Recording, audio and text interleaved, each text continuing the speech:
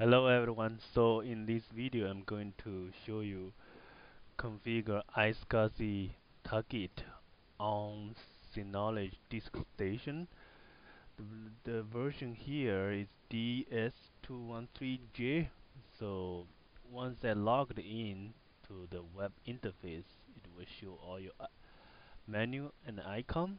So first let's click the main menu in storage manager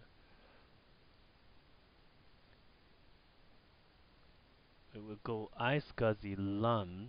There's no iSCSI LUN in your system, so I'm going to create one.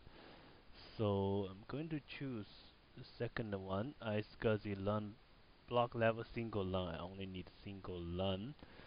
So there there are two disks in this box, so I'm going to pick up both to allow it set as a so RAID 1. So next ask you RAID 1 or RAID 0 so for important data we always need RAID 1 okay. So disk check. Uh, no because yeah anyway this is a new hard drive.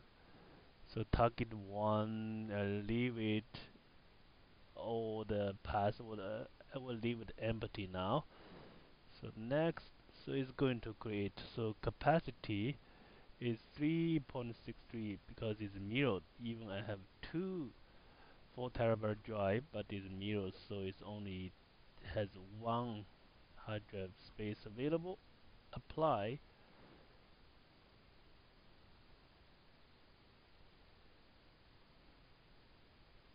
Okay loading.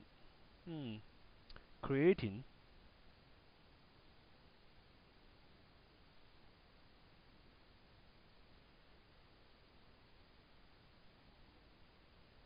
okay it's created. So after this one target created we can add this iSCSI storage to our VM ESXi as a storage. So check another video how to add iSCSI storage to VMware ESXi environment. Thanks for watching